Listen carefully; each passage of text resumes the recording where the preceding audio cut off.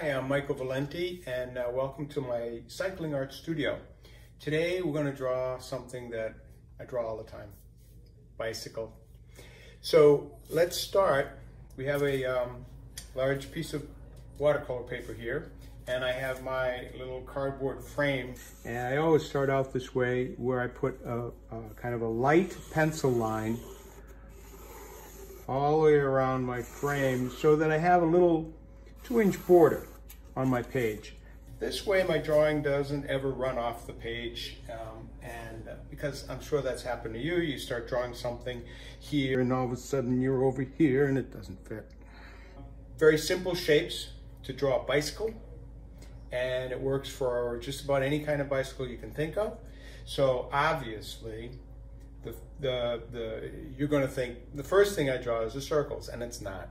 The first thing I draw on a bicycle is a very light shaped triangle. Okay, so I draw a triangle, flat on top, pointing on the bottom. Now, from that triangle, I can draw my two circles. Okay, big circle here, and another big circle here. Now, these two circles are about the same size. Again, you gotta remember, it's drawing. You can make things as wild as you want, or you can make them as perfect as you want. Depends on your style of drawing. Both of these circles kind of fall on the same line down there. That's gonna end up being the road eventually, right? So with this triangle, what you've done is you've created the frame of the bicycle. And if the bicycle is moving in this direction, the frame comes down to the point in the center here with a line. Take the center here and a line, and you take the bottom of the triangle with a line. So you now have made the whole frame of the bicycle. You would extend this up here, make a saddle, and you would extend this uh, right here a little bit. This, it would be where the stem would go, and then you'd have your handlebars. So there's your basic lightly drawn frame for a bicycle. They all work pretty much the same. Now, on top of that bicycle, I'm gonna try and put a person. So I'm gonna, I'm gonna put my cyclist, kind of start a long oval shape here, and I'm gonna kind of swoop it down here. I know that what happens on a bicycle is that from here, you have two pedals, up and down. So I'm gonna put one pedal here, and that means the other pedal's here, because they're opposite each other, opposite from the center, okay? So if this pedal's here, that means a foot's gotta come all the way down here. So now I got a foot all the way down here, and I make, now this is how I draw, big swoopy lines, okay? That's how I like to draw my cyclists. That means my other foot is back here. Now that leg has got to be the same size as that leg, so it's got to go someplace. So it's got to go up higher. So now I've got a high leg and a low leg, and I got a front leg and a back leg. Boom, boom, boom, boom, boom really light pencil lines. Just keep keep thinking about the drawing as you're drawing it as to what really happens and then change that and make it work for you. So I got his waist on his body now, and I'm gonna make it a guy because here we go here. Now, arms, we need an arm. We know the arm shoulder starts right here. We're gonna have it come all the way down to his here. Now that looks about right to me. I'll take that. And now we know there's another one that's in the back side to the other handlebar. And we can put that one right in here. Now last, we need his head. So here's his head. We got a nose, we got a chin, we got a neck, we got a cap, we got a helmet, boom, boom, boom, we got an ear. All right, so we have basically drawn all the bits and pieces that we need um, for our bicycle. Now I will put my pencil away. I'm going to take my little Sharpie marker. I like to work with a Sharpie marker because it's waterproof. Now with the Sharpie, I start to draw again on top of my outline. Remember, the, the lines that I've already drawn have basically just been a guideline for me. They've been, they become a guideline so that I can kind of go, oh, this is what I want to do. And it helps me stay on the page where I want to go. So now I know that if I'm going to be drawing, I know the shapes and the areas that I need everything to kind of fit into. I got a helmet, gotta have a neck, right? Gotta have that little thing that hangs off of your jersey. Definitely gotta have that little bit. Um, now, I got his body comes all the way around to his saddle, all right? And I'm gonna just keep on going with this. I'm gonna take it all the way down. I'm gonna give him a little, I'm gonna take it all the way down to where I put his foot, right? I got a foot right down here for this guy. A little kneecap right here. I'm gonna bring this back up.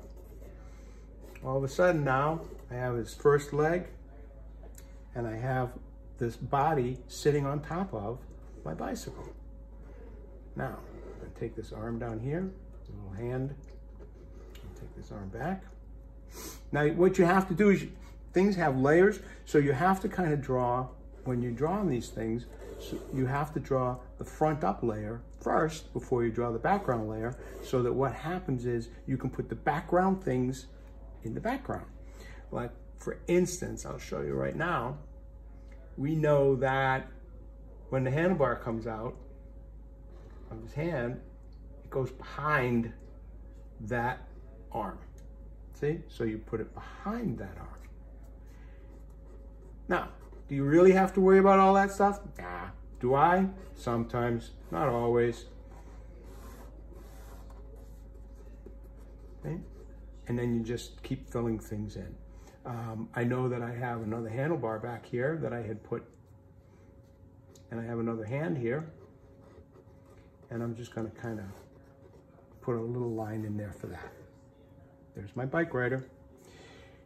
Now, on my frame of my bicycle, I know it goes behind, right? It goes behind that leg. So it's gonna come down here, and it's gonna come down here. Now, I have my pedal. Ooh, kind of messy, but I'll make it work. I got a pedal there, And this goes back up, back down, back down. There we go. Again, do I care? Nope. Because it all adds up to something that works. There's other foot now. If I look at this, it really should be somewhere around here. So I'm gonna put the other foot there, but before I do that, I have to kind of put in this wheel because this wheel goes in front of that back foot, right? So on your last leg here, right back in here, then I'm gonna show you how to give it some very simple depth and dimension once you have your cycle. Oh, look at these floating. I guess we need that saddle bit, right? All right. And the faster you draw, the better. At least for me, anyway. I don't want to think about it too much. I think if I think about it too much, I care too much, and then I have no fun. And I really just want to have fun. So there we go there. I guess we're going disc brakes for this guy. All the way around. Give him a little gravel road here. Kicking up some gravel. There we go.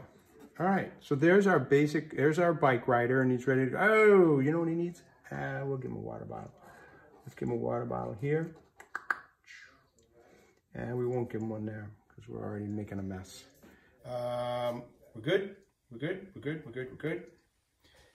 I also have, now sometimes what I do in my drawings is I actually use that line up there to draw the frame. I don't always, I do sometimes. Here you go. Done. Let it go. You're going to add more to it now. You're going to add color to it and you're going to add more ink on top of it so you don't have to finish every little bit. This is a kneaded eraser, and I use it now to clean up some of the pencil lines that I drew in there first because I don't want those pencil lines later after I use my watercolor and my ink. You can leave them. It's up to you. If you used crayon, do not erase on top of crayon. You'll make a major mess. All right, watercolor brush. My half pan of watercolor paints, a little bit of water, and a, a rag to um, dab things that I need to dab.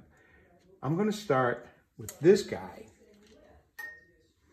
the big, big sky, all right? There we go. Like I've said before, I mix my paints here, but I test them here so I can see what I'm getting into. So now I like this, so I'm gonna start in my background. So behind my cyclist, I'm gonna start my background. Huh? And I'm just gonna paint in behind him because this is the sky and to the background. This is where I want it just kind of have this, you would call this kind of a vignetted sky. I don't fill in the whole painting. Um, I like it when a watercolor is nice and loose and there's a lot of little happy accidents, which means things that happen along the way, you let them, you go with it. You don't try and fix it. There's no fixing it. There's no fixing watercolors anyway.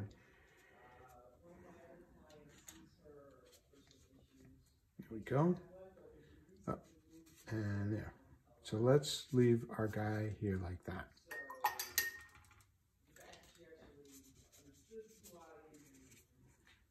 This is how I paint pretty much every day. Now, we need Jersey. Hmm. What should we do? I'm gonna go. I know.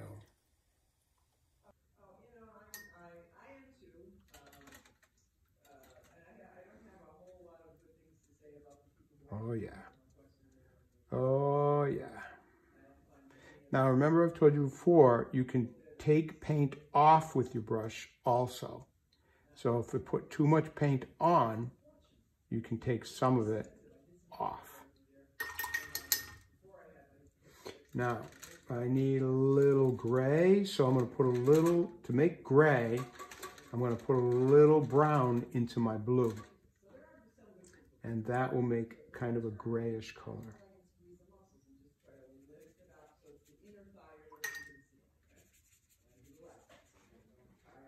I want to put a little gray right through here. I also want to use that color.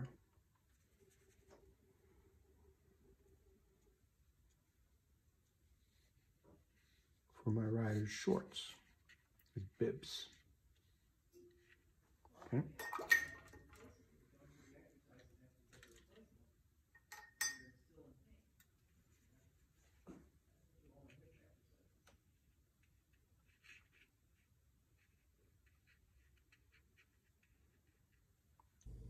Okay, a little more brown here.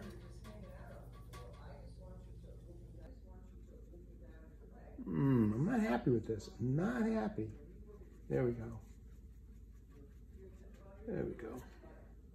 Because what I want to have happen now is I have to start working some shadows. And we've talked about shadows. You've seen shadows. Um, I think of where the light is coming from. And on my drawing here, the light is coming from over this side right here, so everything has a shadow in that direction.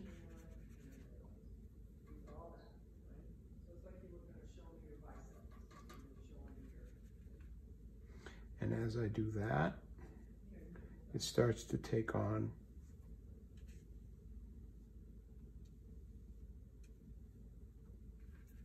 some shape. Okay.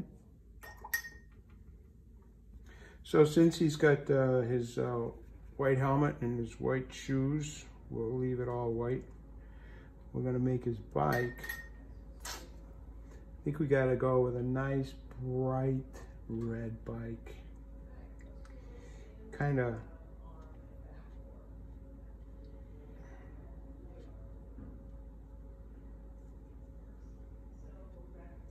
Again, don't worry about it.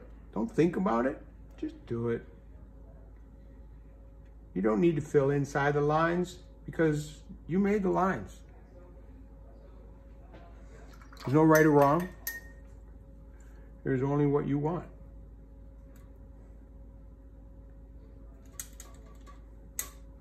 So since I'm really trendy, not really, I'm gonna go little gum wall tires, huh? Definitely.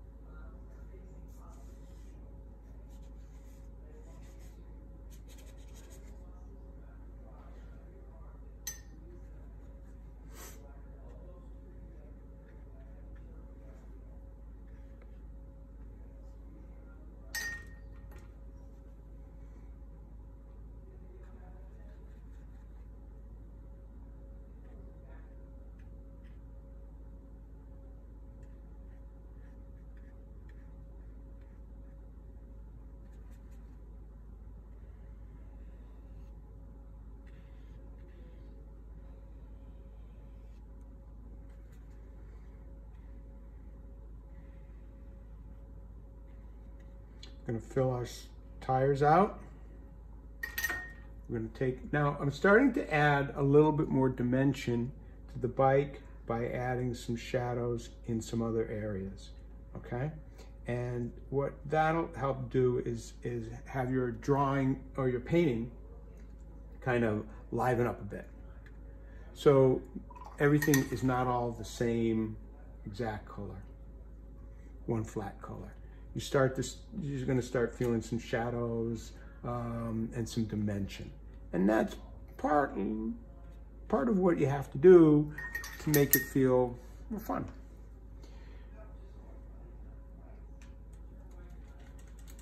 Add a little more color in my background.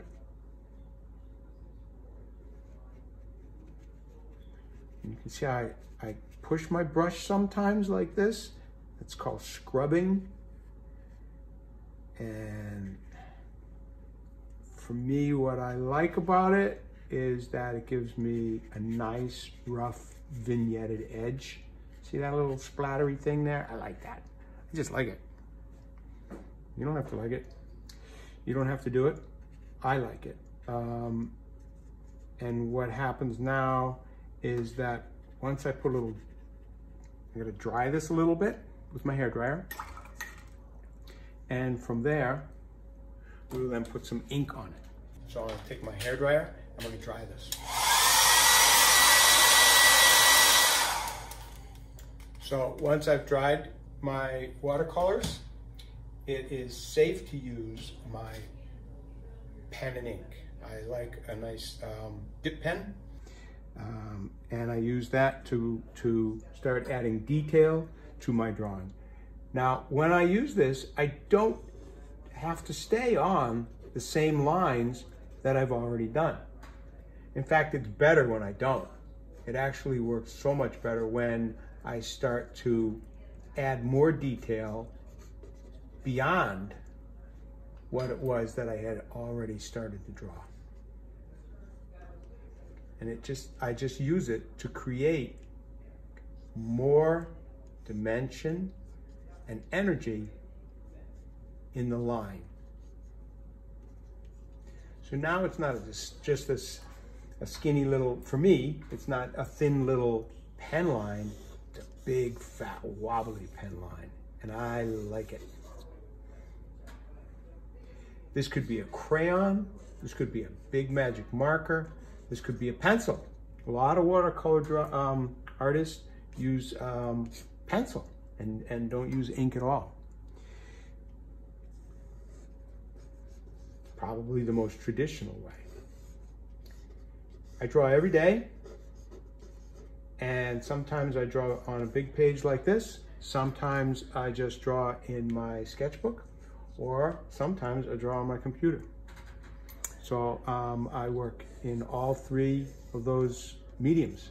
Digital, um, watercolors, I even paint large painting acrylics like the one behind me.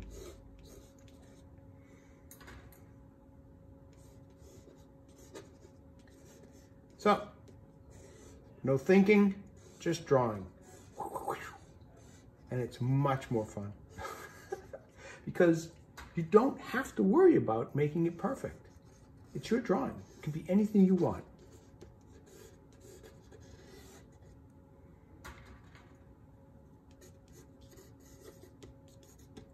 In some cases, the looser you make it, the better. At least I would say that's what works for me. It's not going to work for everybody because it may not be their personality. This is how I draw and paint when I go to the Tour de France uh, the, or I'm outside, or I'm at the Giro, uh, or any of the races that I go to in the United States.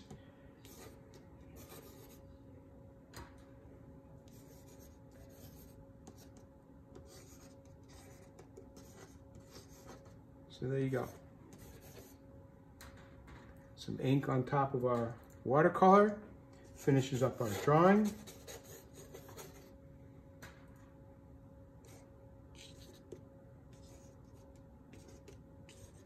Some dirt flying, and there we go. Voila, finished. I think that worked out pretty well. Thank you for joining me. I will see you next time. Ciao.